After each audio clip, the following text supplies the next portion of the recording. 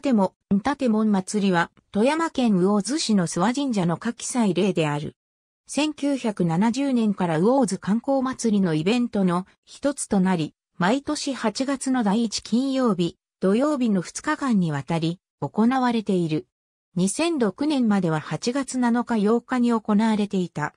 なおこの祭礼は国の重要無形民族文化財に指定されているほか、ユネスコの無形文化遺産に登録されている。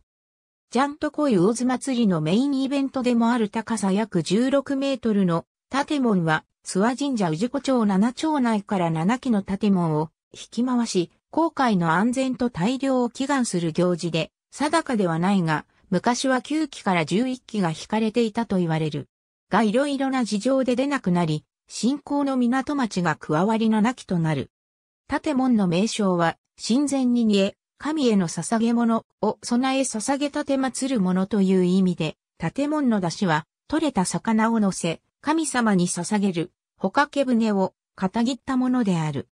建物の創始については、船に、煮えとなる魚を高く積み上げ浜を引き回し、海の神に備え大量を祈願したとされる言い伝えがあり、享保年間中頃には台の上に提灯を吊るし、担ぎ回したとされ、現在まで約300年続く行事である。北日本のネプタと諏訪のお柱祭りが融合した形式をとる。1972年10月5日に、建門が富山県有形民族文化財に指定。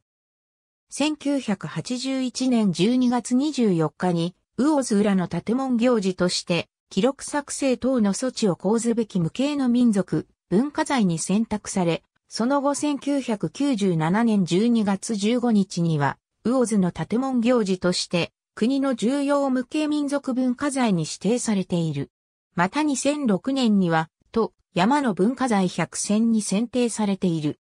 2016年10月には、18府県33県の山、鉾、屋台行事の中の一県として、ユネスコの無形文化遺産に登録勧告され、同年12月1日に登録された。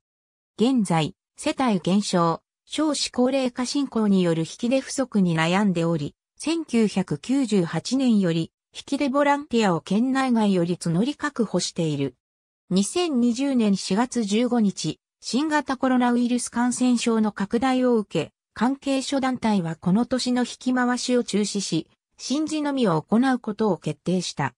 建門は、ほかけ船を模した満明かりで、長さ約16メートルの太い新柱に、帆に見立てた、底辺約8メートルの大きな二等辺三角形の枠に、10から12段の横木を渡す。大木には60から100余りの縁起の良い図柄を描いた丸提灯、またはぼんぼりを吊るし下げる。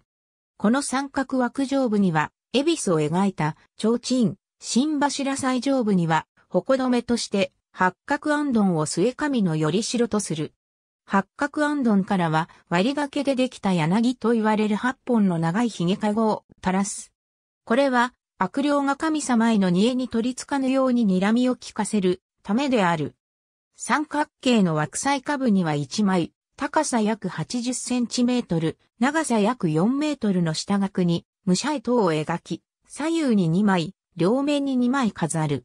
これらを2.6メートル2.2メートル角、重さ約1.5トンの反り台中央に立てる。車輪のない反り台なのは、もともと浜辺や砂利道で引いていたからである。反り台には出汁を引くために、長さ約10メートルの2本の担ぎ棒に数本の横木を渡す。そこに、縄で網掛けし林担当の子供たちが乗り込み笛や太鼓で生やす中、80人から100人ほどで総重量5トンほどの船型マントを威勢よく引き回す。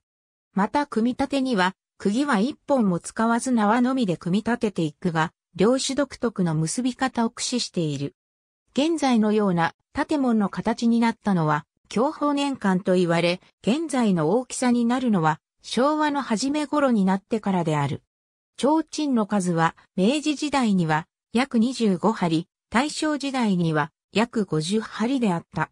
また、現在提灯の絵柄は様々であるが、昔はどの町も絵柄は魚であったと言われる。これは神様への煮えである魚を船に大量に積んであることにより、神様に喜んでいただくためである。夕刻には建物七基の提灯に火が灯り、諏訪神社前に集まってくる。くじ引きで、諏訪神社境内へ入る順番を決めると、午後8時30分頃から一機ずつ、順番に、境内社殿横の広場に入り、担ぎ手と建物からつなげた8本の控え綱を持つ、各赤手が、勢いよく5トンほどの建物自体を3回転しこれを2回行う。8本の控え綱を持つ、各は歌手は神様によく見ていただくため、飛び跳ねながら、時に縄にぶら下がり、宙を舞うように回ると、提灯と柳の明かりが美しい光の輪を作り、祭りは最高潮に達する。なお控え綱は、高くて、平たい建物を回すときに、バランスをとって、傾いたり倒れたりすることを防止する役目がある。回し終えると、建物は、社殿正面に移動し、町内関係者は、社殿でお払いを受け継ぎの町内に引き継ぐ。すべての町内が回し終えるのは午後11時頃となる。その後3回し、各町内でなお来という労をねぎらう会が行われ、終了となる。なお、魚津市内のアリソドームには、提灯60針の小型建物、海の駅新機楼には、高さ7メートル、提灯58針の小型建物、新川文化ホールには、建物の縮小模型、魚津歴史民族博物館には、建物の縮小模型が常設展示されている。市外や県外のほとんどのメディアは、建物という際のイントネーションを建物、もしくは建物というが、正しくは建物である。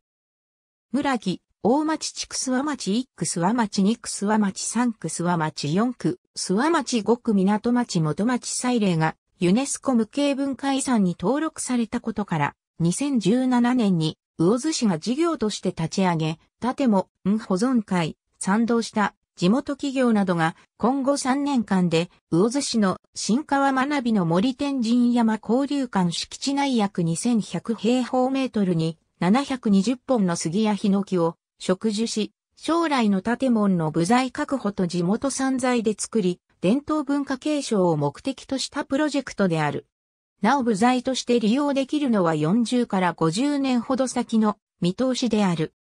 2017年10月28日に初めての植樹が行われ、魚津市長、建も、ん保存会、参道地元企業、宇治湖町内の子供たちなどが参加し、杉130本、ヒノキ66本、ケヤキ44本、計240本の苗木を植えた。ありがとうございます。